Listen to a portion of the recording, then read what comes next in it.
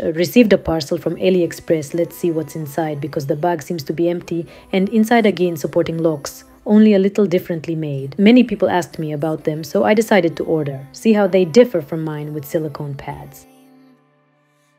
But firstly, metal ones are much larger, and secondly, many complain that not all pins fit into this hole in the metal locks.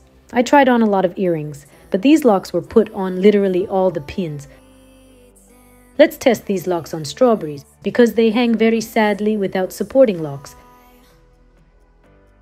Of course, they support very well because their heart is big and the heart is in general a lever due to which the earring lifts up. And let's now try putting this small lock on and see if there is a difference because it seems to me that there won't be much difference. But as I expected, there's not much difference actually. The only thing they can be useful for is if the earring sags very much and even these small locks don't save it, maybe such a large lock will save it.